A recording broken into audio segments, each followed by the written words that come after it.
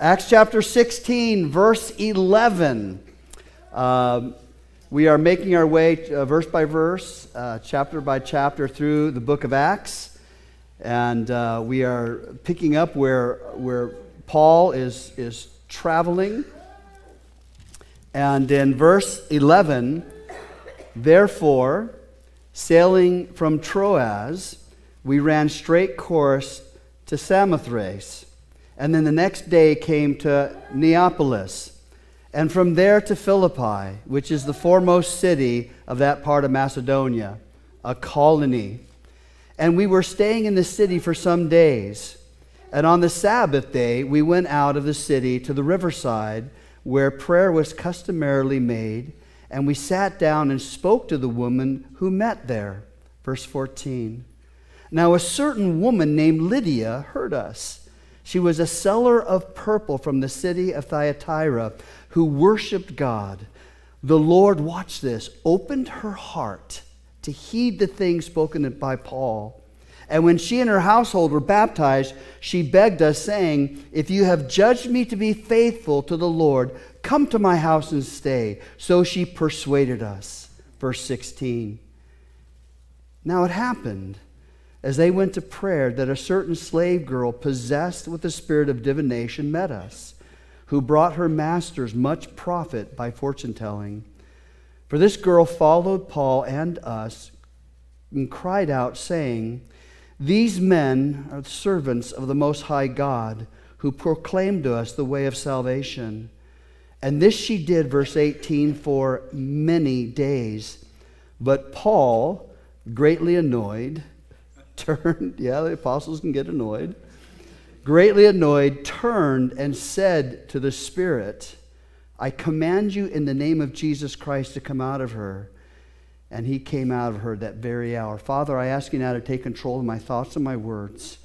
Father, we are so thankful your presence is here with us. Your presence lives in us.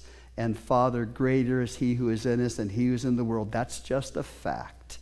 So, Father, I ask now that you would give us listening ears. Father, I pray against, in the name of Jesus, any distractions that might try to keep us from hearing what you have to say to each one of us. Father, anyone here who doesn't know your great love for them through Jesus Christ or online watching this live or, or through the weeks to come, Father, we pray that you would draw them into your kingdom. And it is to the glory of our resurrected King Jesus we pray. And everyone said together, Amen. You, as we talk about often here at Calvary Chapel, there are only two kingdoms in this world. There are a lot of nations. Nations come and go. Amen? But there are only two kingdoms since the resurrection of Jesus Christ. And that's the kingdom of this world and the kingdom of God. And we belong to one or the other. The door into the kingdom of God is Jesus Christ. And anyone is welcome to walk through that door. If you belong to Jesus Christ, you belong to an eternal kingdom with a king. Jesus is our king, and what a king he is.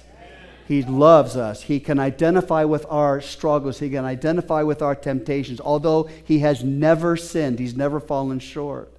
You know, scripture also says he prays for us. I mean, talk about a prayer partner. He loves us. He is the God man and He has reached out to us and pulled us up by one hand, so to speak, and with the other hand, He is grasping the holy God and He brings us together because of the sacrifice He's made. Here in America, um, I remember hearing this years ago uh, because we do a lot of work in Africa, as you know, that, that Africans would come here, people from uh, other countries who were Christians and they'd come to this country and they say, We're finally at a Christian nation. I mean, after all, on your money it says, In God we trust. And then they would see the culture and they would realize it's not a Christian nation. And then certainly our Constitution is based upon Judeo Christian truths, but we are not a Christian nation. And what has happened is the more that we have taken God out of the center of our consciousness as a nation, the more that void will be filled by something or someone, and it has been. In Iowa, about a month ago, because of this freedom of religion, there was a satanic uh, statue put up. I mean, in their, in their foyer, in their rotunda, and a, a former uh, Navy naval pilot, Christian, came, came in there and tore it down. And, and he said, yeah, yeah. And he said I would do it again and again. And he's, brought up, he's being brought up on charges for a hate crime. And he said, you know, if I'm going to be brought up on charges for a hate crime, there's nothing better than tearing down uh, a, a statue of Lucifer. So it just shows you that our culture has shifted. Now, this is good news and bad news. The bad news is, is that we've drifted away from the Lord and America is under judgment. I hate to tell you that. If the stuff you're seeing right now, the delusion you guys are seeing, the irrationality, the unreasonableness, the lack of critical thinking, that is, and decisions that our leaders are making on both sides of the aisle, that is the result of God's judgment. It just is. Read Haggai, read the Old Testament prophets, and they talk about how when his judgments come, your leader will make terrible decisions. I'm like, check. you will be invaded by a foreign army. Check. And so, but that's the bad. The good news is this is where darkness is, light shines brighter. So more more than any other time in the history of this nation, this country, as followers after Jesus Christ, you have the Holy Spirit sealing us. His light is in you. He wants to shine, if you will, through us. So this morning, at looking at these two kingdoms, we're going to see these two kingdoms clash. And we're going to see this servant girl who is being used by those who were her master. And by the way, slavery is not the same. Um, slavery in the, the Bible is not the same as slavery we had a couple of hundred years ago. It was, it was more servant uh, servitude. They were trying to pay off debt. But what we're going to see here is this clash between the God of this world and the Apostle Paul. And what can we learn from it? What can you and I learn from this? So let's get into Scripture. We see here in verses 11 through 15, Paul is talking about his, his continued travel. And they go to Troas, uh, they, they go to Philippi, Philippi, um, and in verse 13, um, they, are there in Macedonia and they're in a colony there. There's no, there's no tabernacle nearby or temple for them to go and, and, and pray. And then it says, on the Sabbath day, we went out of the city to the riverside where prayer was customarily made, and we sat down and spoke to a woman who we met there. Now, folks, what we're going to see here is what is often called a divine appointment. Now, when we say divine appointment, we're just talking about how it is that God sets up a time or an appointment for you to meet someone because he wants to further his kingdom. Does that make sense to you guys? So, what happens here, he meets this woman, verse 14, named Lydia, and she sold purple, which was fine uh, silk and stuff. And, and she was worshiping God, and then the Lord opens her, her heart and she heeds what Paul has said. And then now, verse 15 she, she says, Listen, I want you to come stay with us. Now, what God would do is He would open the door through Lydia's family to go into Europe and spread the gospel. That is what we would refer to as a divine appointment. And might I encourage you all to understand that God has these appointments for you. You are part of His kingdom. You are a walking, talking temple of, of the Lord. And if you're paying attention, now this is my challenge. I sometimes I just don't pay attention. Like I'm in my own little world. It's like I got those, what are those things they put on horses called? Blind is a blinder. It's just I'm just kind of I just want to get in out, out of Walmart, please, you know, and just I just want to I want to go home and and you know rest, and I can do that. But when I'm open to what the Lord wants to do, it's amazing what He does. Cornerstone story for you. By the way, go to Cornerstone and buy coffee. Buy, they have bagels. This is a shameless commercial right now. But all proceeds go to missions, right? So, so I was in Cornerstone. It was packed. We were having lunch. And this gentleman walks in with this big old beard. And that, some of you may not want to remember the day that I had that beard. You know, I'd have people walk up and give me quarters. Did I see you? Uh, you know, so, but I had this big beard. My wife couldn't stand it, but I had this beard down here. And he walks in, and I go, dude, nice beard. I didn't know who he was. I thought uh, what I was doing, I was trying to grease the rails to share the gospel with him because I'd never seen him in there. He's big, oh, yeah, hey, dude, nice beard too. Yeah, yeah, yeah. So I'm sitting there talking to whoever I was fellowshipping with, and I just like trying to open up a dialogue with him. And um, we're talking, and he mentions Entebbe, which is the capital of Uganda. And I'm going, What? He goes, Yeah, yeah. I goes, you, You've been to Uganda. Now, we've been to Uganda probably about 15 times.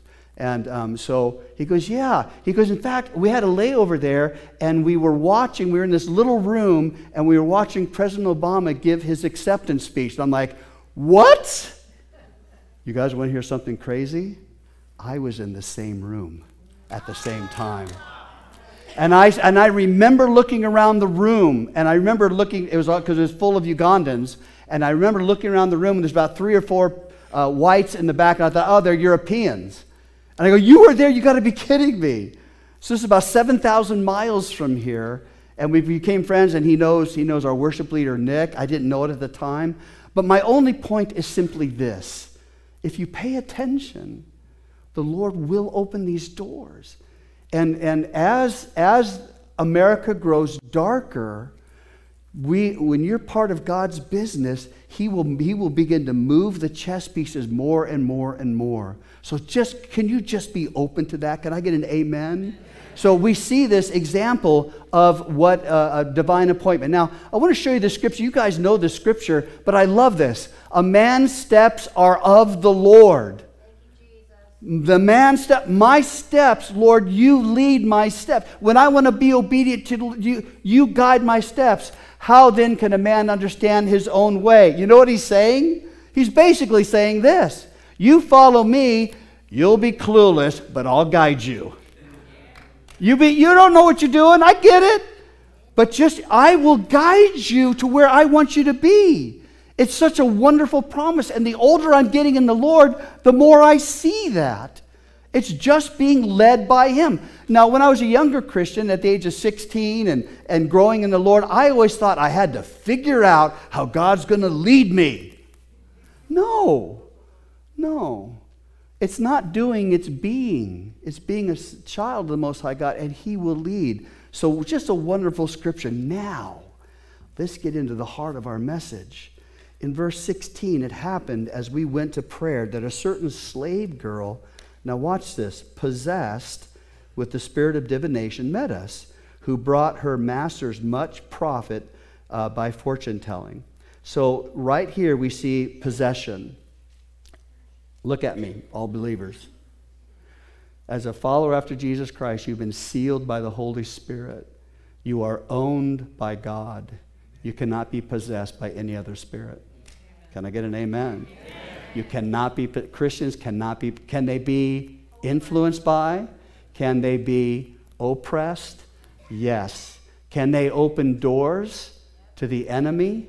The scripture says, chapter 4, verse 26, don't let the sun go down on your anger, lest you give a foothold to the devil. Well, a foothold is a foothold. Foothold means I, I allow him in my life, and I've done this before, and I've experienced it, where I allow a foothold in my life, and all of a sudden my mind's just going, and until I repent and rebuke that stuff, I have to struggle with it. And so we can give a foothold to the enemy. Now, watch this. Here is a truth, and all the demons know this.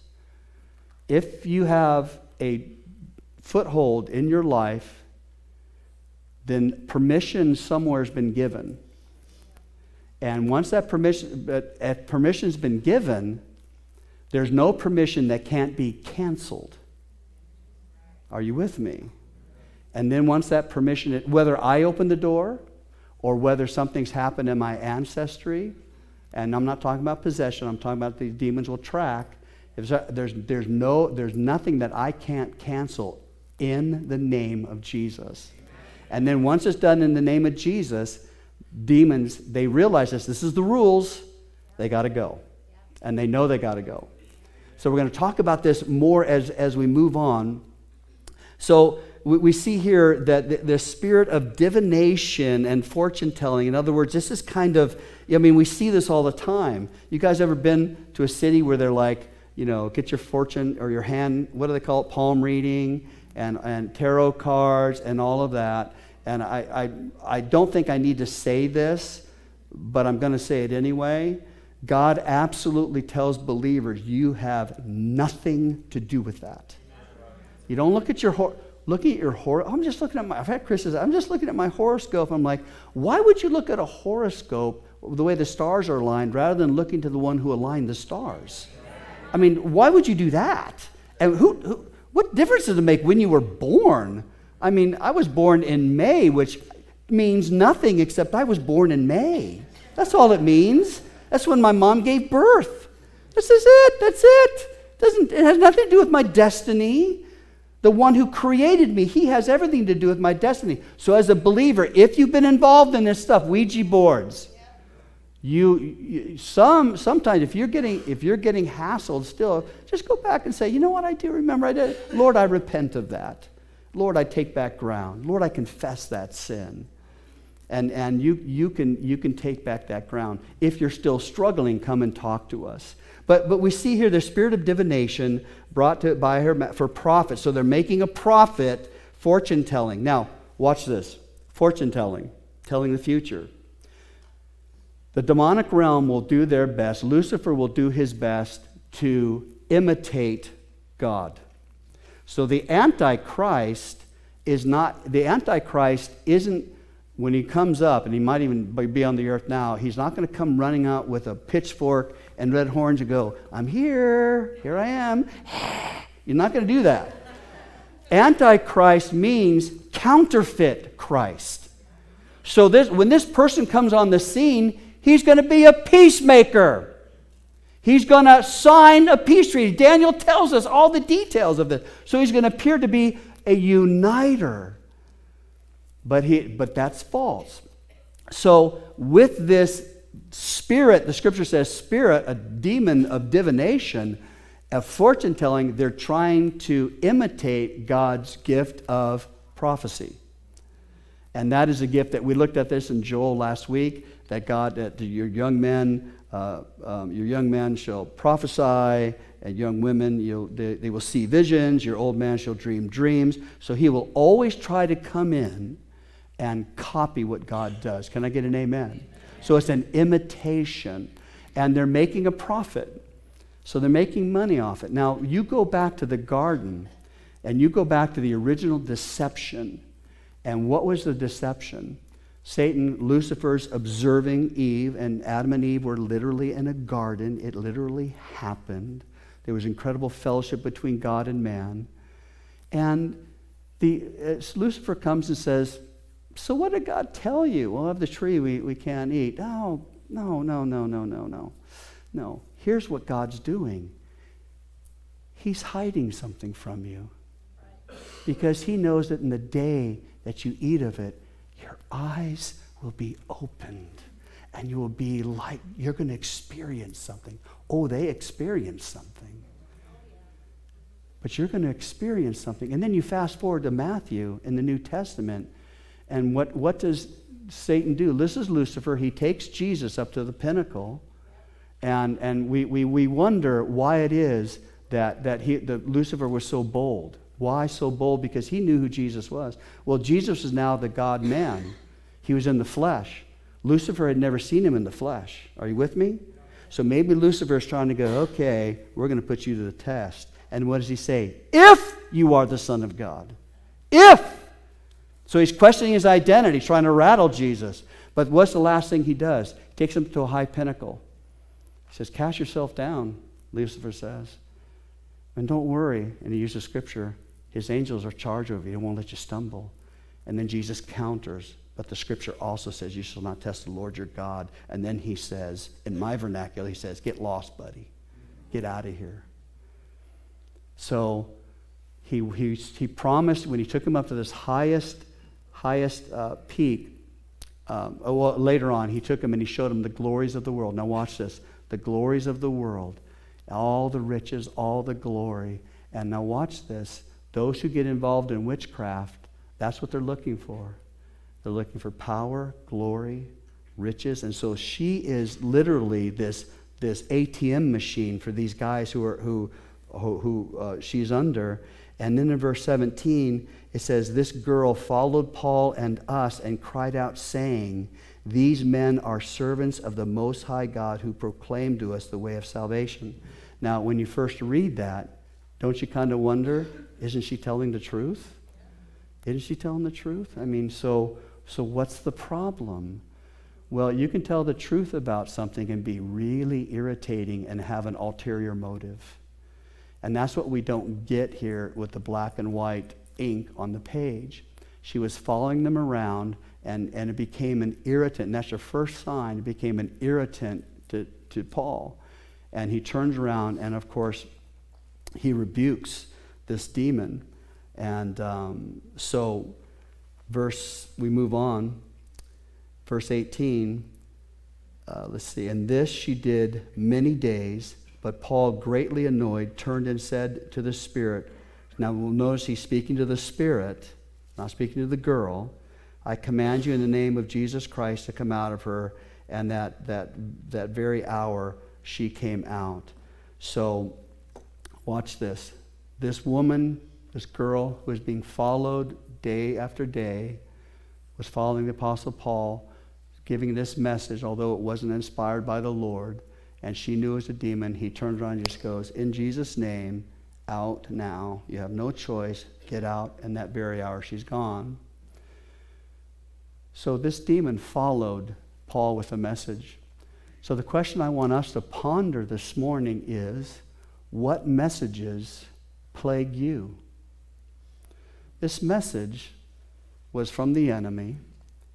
Now, what in our lives, what messages can plague us? What, what is that yapping out there sometimes that tells us that you're never going to be good enough? And by the way, we looked at this a couple of weeks ago the idea of us being good enough. I think that's just a play the enemy makes. But, but let me write an addendum to that, that message, and that is that it has never been about us being good enough. You can't be good enough. So the idea, watch this, the idea of me being good enough is not even on the table. Can I get an amen? Jesus is good enough. I'm in Him. That is the whole message of the gospel. I can never become good enough. But what the enemy will do is he'll come along and, like this little servant girl, just yapping away, following around. You'll never be good enough. If people really knew what you were like, and, and God loves everyone else but you, and we can be plagued by these messages. We can be plagued. And, and so, what message plagues you? And as I've been praying about this message this morning, I was like, Lord, just show your people the lies that are being told. Show that, show them. You know, over the last two or three years, we've, we've had mature believers um, come to me, and I've just seen this pattern opening up. And they're saying, you know what, I don't know what's going on. I'm, I mean, these are people that are solid in their faith. They're like, you know what, I'm, I'm just under attack, I think. I don't know, these thoughts are coming, and even suicidal thoughts and all this kind of stuff. What is going on? It's the yapper. It's that little servant girl yapping away. Am I making sense this morning? Does that make sense to you guys? So let's draw our attention uh, to the overhead. And in 2 Corinthians um, chapter 11, verses 13 and 14, it says this For such are false apostles, deceitful workers, transforming themselves into apostles of Christ.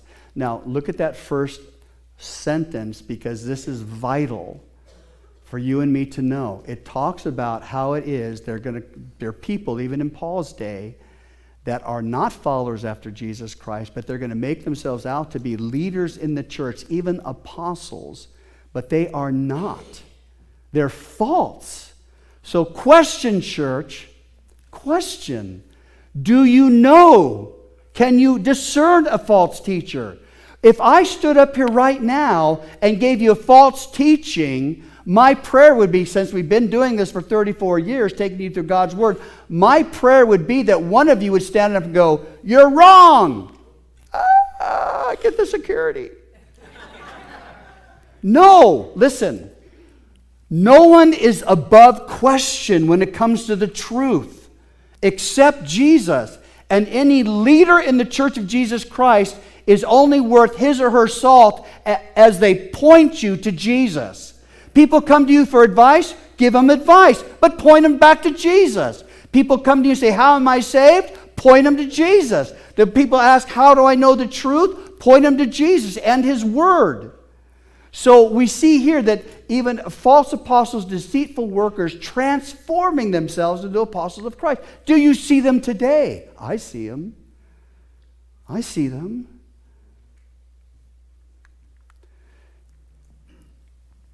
Biblical Christianity stands alone. And when you look at Jehovah's Witness, Mormon, Hindu, Islam, Christianity is completely different, although all these, these other religions have things in common.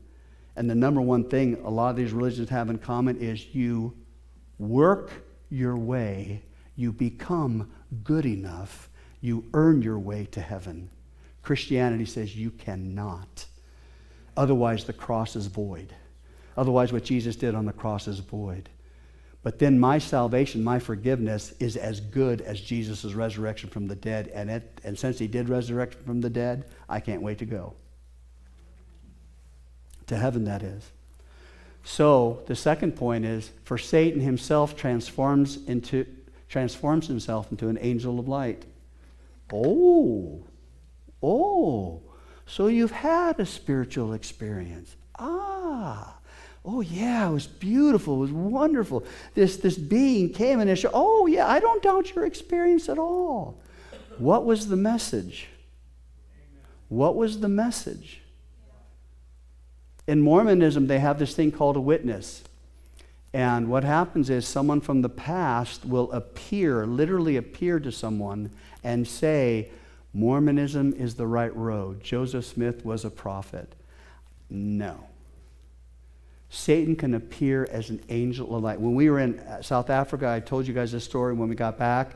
Um, we were taking some of Dennis Wadley's staff, who are South Africans, uh, dark, dark skin and, and brown eyes, obviously. And we were taking this young person through the process of, and I don't think he was saved, but he was working with his team. And um, as we were talking, uh, we were addressing the demons, I, I, was sitting this sitting here. Dennis was there, and another leader was there, and I saw his, his eyes were closed, and I saw his pupil, because you know, your pupil kind of sticks out a little bit.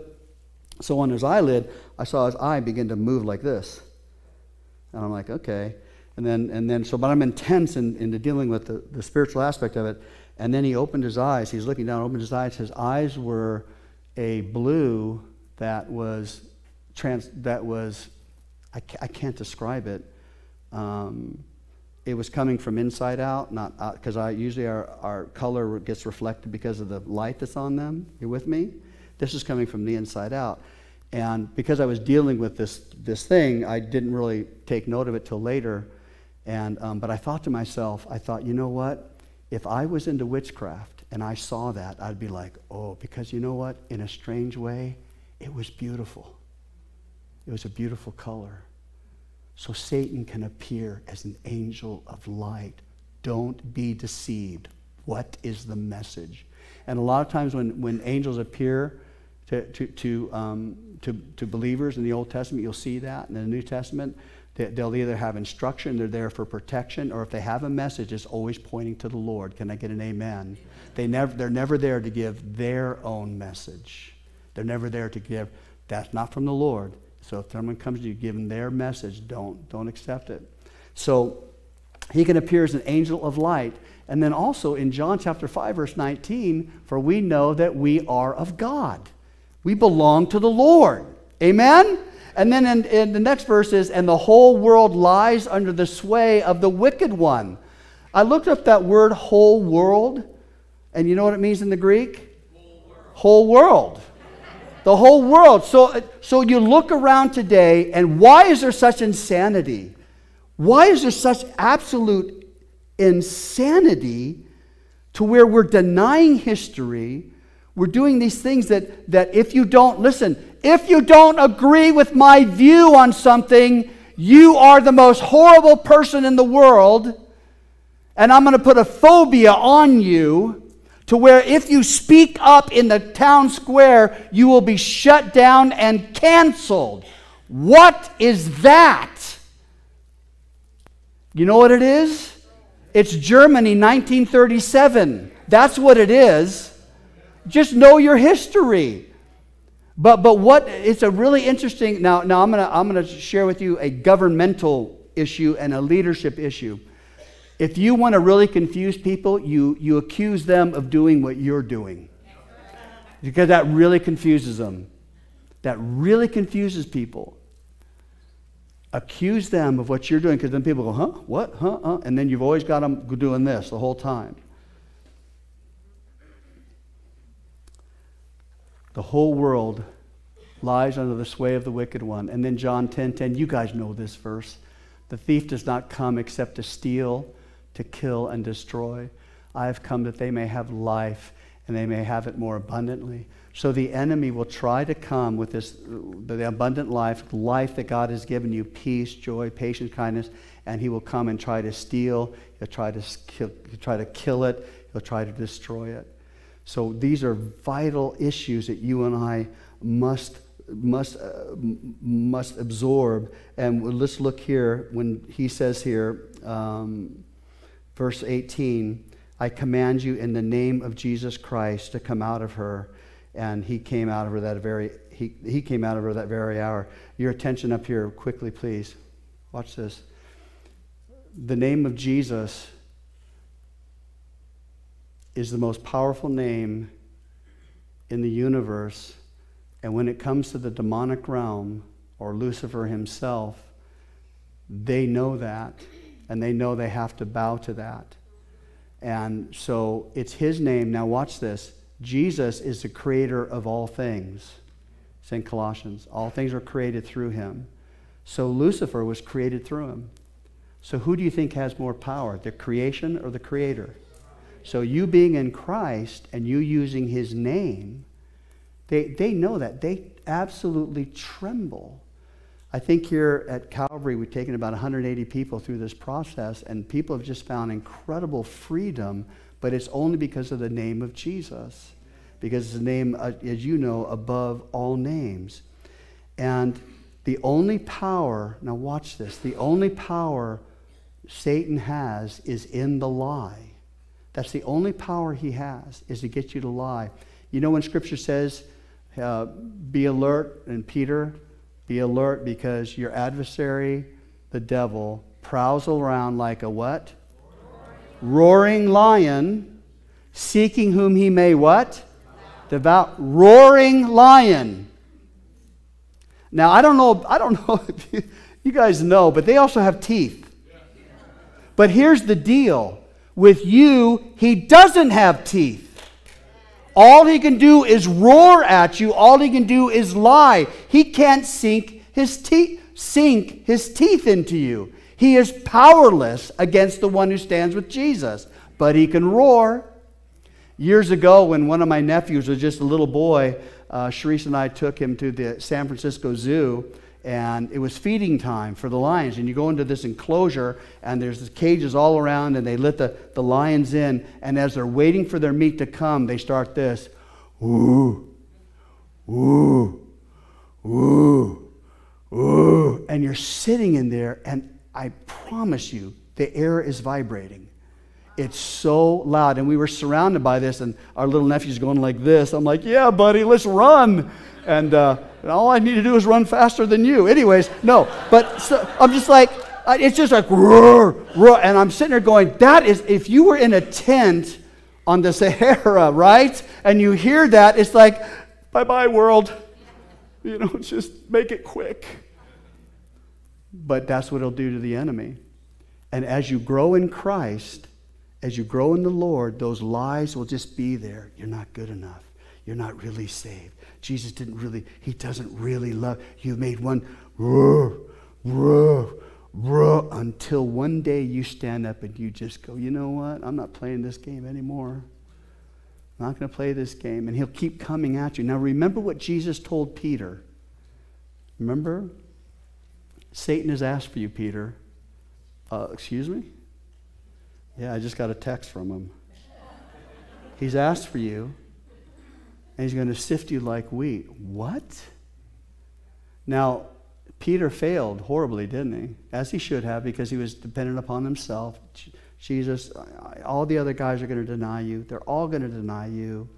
But Pete, Pete, Jesus, look at me. Pete, the rock, come on. I will never deny you. And then he denied him how many times? Three times. So when Jesus meets him back in Gal- the Galilee, at the Sea of Galilee, how many times does Jesus ask in front of the others, Do you love me? How many times did he ask? Completely restoring him. Question Did Peter make mistakes after that? Oh, yeah. Because the sifting continues.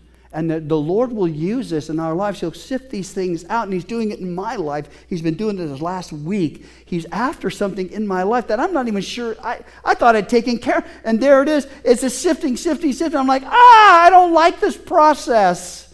I just don't like it. You younger Christians, if you ever think you're going to get to a point in this life where you're not going to be sifted, sorry, it's going to continue, but the Lord's in control of it. Vital that we see that. Vital that we understand that. So the lie only belongs in, or the power rather, only belongs into the lie. Let's look at scripture here. What's our, where, where do we stand with all this? Watch this. Where do we stand when it comes to the enemy? God speaks through Isaiah, Fear not, for I am with you. So he's with you. Don't be dismayed, for I'm your God. The word dismayed has the idea of just being totally discombobulated totally disoriented. Anybody ever feel totally disoriented? Yeah, okay, ready? Right? So, totally disoriented. He says, don't do that. So, this command tells me when I start getting disoriented, don't be disoriented because I am with you. Yes, I will help you. Now, watch this. I will uphold you with my righteous right hand. He said, I'm going to hold you with my righteous right hand. So, notice it says righteous. He makes you righteous He's holding you up with his righteous right hand. You are righteous in Christ because he is our righteousness. He's our righteousness. Okay? And then I will uphold you. And then I love this next verse, John chapter 10, verse 28. I give them eternal life, and they will never perish, and no one will snatch them out of my hand. So what God does, he goes like this. He goes, he's like, hey, devil, try to get them. Uh, uh, uh, come, Come on, keep trying. Come on, keep trying. Keep trying. Right? You ever do that game with your kids? You're like, give me five. Hey, whoa, whoa. And then they get the age where they, they get it. It's like, oh, darn. But, anyways, so you are in God's hand. So if you're in God's hand, can Satan get to you? No. Can his lies get to you? Yes, because he's a bully. So let's look at some, some ways the roaring lion works. And these are very rudimentary points but then you guys know them. But we see here first, did God say? Did God say, in other words, he just simply questions the Word of God? He just, that's all he does. He just muddy the waters, just question. Second one is obvious there's a temptation, a tempting. He does that as well. Sometimes we tempt ourselves, but he's the tempter. And then in the book of Revelation, it says he's accuser, the accuser of the brethren. He accuses the brethren before God day and night. Wow. Did you see what he did? That's one of yours. Yeah, uh huh. Someone cut him off on I 70. Look at him. Oh, he's praying all right. Yeah, look at him. Now, the interesting thing about Satan is watch this. He'll tempt on this side, then when you give in, he'll accuse on this side. And then the final one, and this is what I really want us to see, and we're going to be done in about three minutes. Stay with me. Is fear. The questioning God's word, of course, that will lead to fear. Tempting into sin, accusing the brother, absolutely. But fear is a number one thing that I have seen that, that uh, believers need to break through when they're dealing with full on frontal attack of the demonic realm. Fear. So here's what I want. We're going to do this in just a second. 2 Timothy chapter 1 verse 7. God gave us a spirit. He's given you a spirit, but not of fear, but of power, love, and a sound mind. Eh, you guys ever feel like you're going to lose your mind? Oh, if you've had toddlers, come on. or if you're waiting in line at Walmart and Price check on aisle five. You're like, I got in the wrong line. Have you guys seen that? We got on the line and every line shrinks but yours. And then have you ever gotten in another line and then that line doesn't move? Price check on, and you look at the other line like, ah, ha, ha, ha. Sound mind. So let's all stand together because we're going to read this God's word together. Let's all stand, even overflowing. Stand up. We're going to read this together as a proclamation of what God has done, God's truth. So we're going to go back here.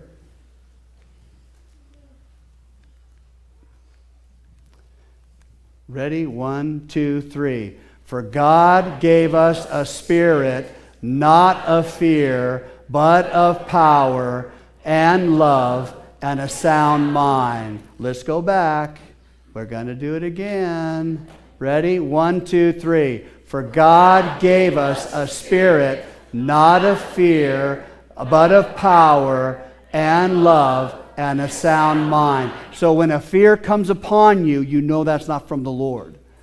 I mean, if you're out playing in the street, you're going to get hit by a car and you have fear, that's on you. But I'm talking about things, watch this. I'm talking about things coming to you like all of a sudden this fear comes. But now he's given us power. The word is the root word is dynamite. He's given us dynamite and love. I'm loved and a sound mind. Let's read it one more time. For God has given us a spirit of fear Oh, I messed it up. Sorry. hold on, hold on. God has to give me a spirit of eyesight. Hold on. For God gave us a spirit not of fear, but of power and love and a sound mind. Let's give the Lord a big old hand clap.